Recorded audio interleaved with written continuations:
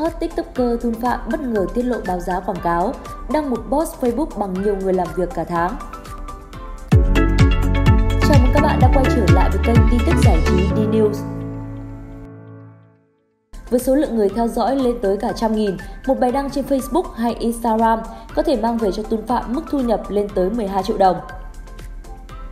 Trên thị trường marketing hiện nay, sử dụng KOL, viết tắt của Key Opinion Leader, người dẫn dắt dư luận chủ chốt, được coi là một phương pháp hiệu quả để đưa thương hiệu, sản phẩm đến gần hơn với người tiêu dùng và dẫn dắt hành vi mua hàng của họ.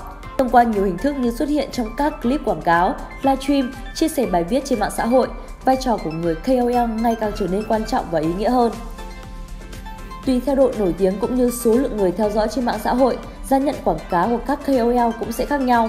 Mới đây, hot tiktoker Tun Phạm, tên thật là Phạm Đức Huy, đã bất ngờ tiết lộ thông tin này trên Facebook của mình. Với 1 triệu người theo dõi trên TikTok, gần 500.000 lượt theo dõi trên Facebook và 240.000 lượt follow trên Instagram, cộng thêm phong cách trẻ trung hài hước, Tôn Phạm là gương mặt được nhiều nhãn hàng hay các agency quảng cáo tin tưởng lựa chọn. Do đó, mức giá quảng cáo của chàng trai này cũng không hề thấp, Cụ thể với một bài post trên Facebook hay Instagram có thể đem về cho Tun 12 triệu đồng.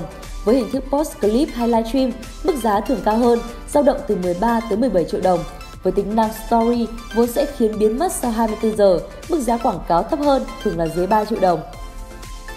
Trong một bài phỏng vấn gần đây, Tuân Phạm từng thừa nhận một ngày chỉ cần nhận vài quảng cáo là đủ sống vì một hợp đồng của cậu cũng bằng 2-3 tháng lương của người khác. So với các bạn cùng lứa tuổi, bản thân Tuân Phạm không phải lo ngại về mặt tài chính. Tuy thu nhập cao nhưng Tuân Phạm cũng tiết lộ KOL là nghề rất nhiều áp lực. Đó là việc phải liên tục nghĩ ra các ý tưởng thú vị và duy trì hình ảnh để không bị lãng quên. Trên thị trường ngày càng có nhiều KOL mới nổi lên, cái nghề của bọn mình stress liên tục. Mọi người thấy mình vô tư vậy thôi, chứ lúc nào não cũng hoạt động. Đỉnh điểm mình bị stress nặng nhất là vào năm 2019. Nhìn bạn bè xung quanh ai nấy đều như diều gặp gió, riêng bản thân cứ dậm chân tại chỗ sau khi đã có tên tuổi qua các vlog trên Facebook. Khi ấy mình đã từng rơi nước mắt và tự hỏi liệu bản thân có thực sự là người vô dụng không? Bởi mình làm nghệ thuật mà, đâu ai muốn bị lãng quên. Vào năm 2020 này, TikTok đã thực sự vực mình dậy, Tôn Phạm từng tâm sự như vậy. Chúng mình là D-News, kênh tin tức giải trí. Đừng quên like, share, subscribe kênh để không bỏ lỡ tin tức hot nhất trong ngày các bạn nhé. Còn bây giờ, xin chào và hẹn gặp lại!